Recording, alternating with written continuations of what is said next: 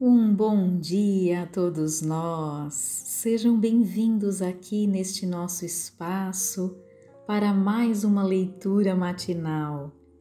Agora são seis e seis e desejo a cada um aqui comigo muita luz e muita esperança no dia de hoje.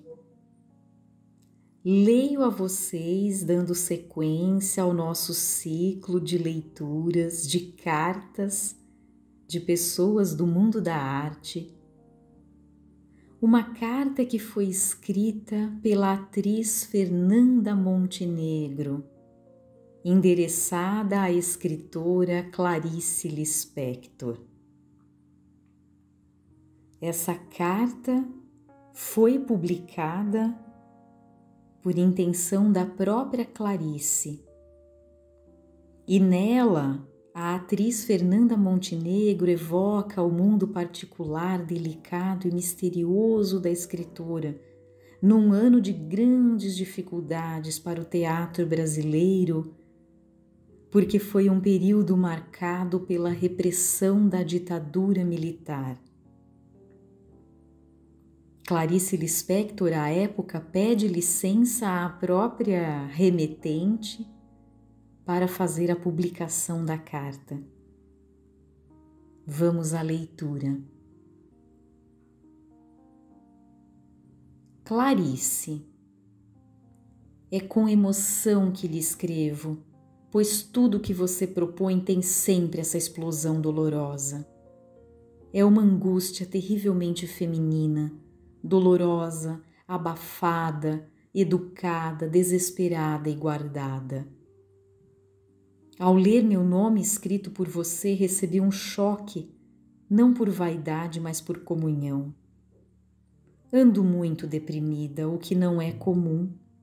Atualmente em São Paulo se representa de arma no bolso, polícia nas portas dos teatros, telefonemas ameaçam o terror para cada um de nós em nossas casas de gente de teatro é o nosso mundo.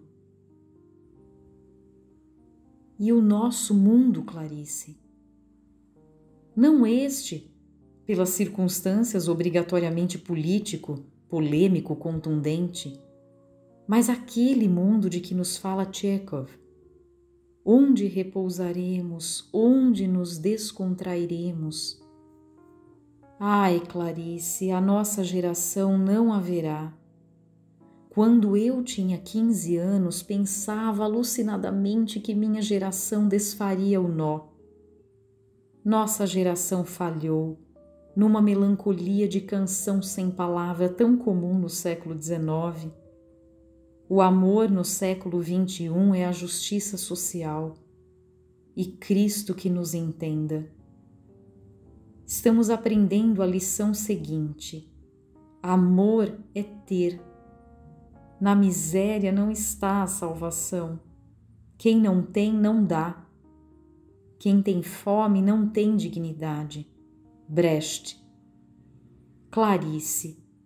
Estou pedindo desculpas por este palavrório todo, mas deixe que eu mantenha com você esta sintonia dolorosa dos que percebem alguns mundos, não apenas este ou aquele, porém até mesmo aquele outro, embora linearmente como é o caso.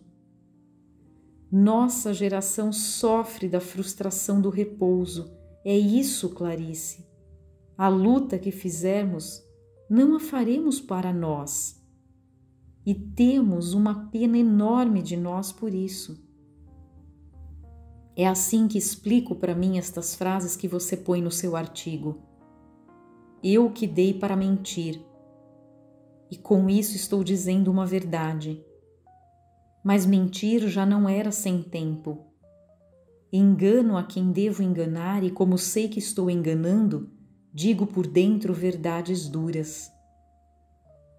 A luta a que me refiro lá no alto seria aquela luta bíblica, a grande luta, a que engloba tudo. Voltando às verdades duras de que você fala, na minha profissão o enganar é a minha verdade. É isso mesmo, Clarice, como profissão. Mas na minha intimidade toda particular, sinto sem enganos que nossa geração está começando a comungar com a barata. A nossa barata, Fernanda, se refere a um livro meu. O livro que foi publicado por Clarice Lispector em 1964, intitulado A Paixão segundo GH, em que realmente a protagonista se depara com uma barata em seu quarto. Nós sabemos o que significa esta comunhão, Clarice. Juro que não vou afastá-la de minha barata. Eu o farei. Preciso já organicamente fazê-lo. Dê-me a calma e a luz de um momento de repouso interior, só um momento. Com intensa comoção, Fernanda. Esta carta foi publicada no dia 19 de outubro de 1968 no Jornal do Brasil. Espero que tenham gostado da leitura e nos encontramos amanhã sem falta para a próxima. Combinados? Um grande abraço e até lá!